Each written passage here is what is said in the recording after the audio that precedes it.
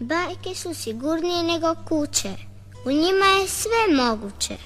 U njima se djevojke u guske pretvaraju. U bajkama čobani kraljeve varaju. Njihove su se kćeri za sluge udale. U bajkama nema mjesta za budale.